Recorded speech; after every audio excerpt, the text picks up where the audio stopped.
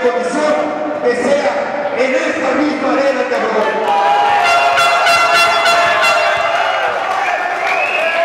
La gente, la gente que se dio cita, yo que se merece esto y más. Lástima por aquellos que nomás escriben, y escriben, y escriben, pero a